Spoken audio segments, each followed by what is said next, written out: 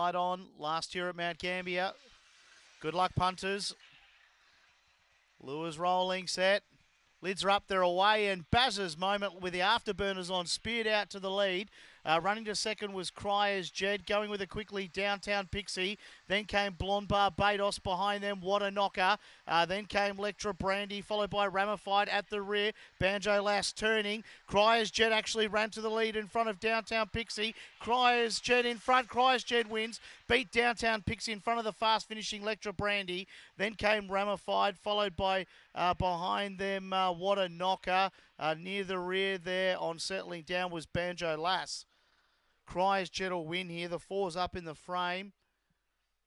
Was tied for second between the eight and the six. So we'll wait on the official numbers up in the frame. 23.10 is the time across the line. Cryers Jed wanted to run off the track a little bit. Uh, was got up and scored here, defeating the eight, Lectra Brandy. That'll make Downtown Pixie our third place runner. So numbers will be 486 in a time of 23.10. Cryers Jed giving Thomas Cryer a race to race double. Dog by Spring Gun out of Cryers Midget. Career start number 61, win number 9.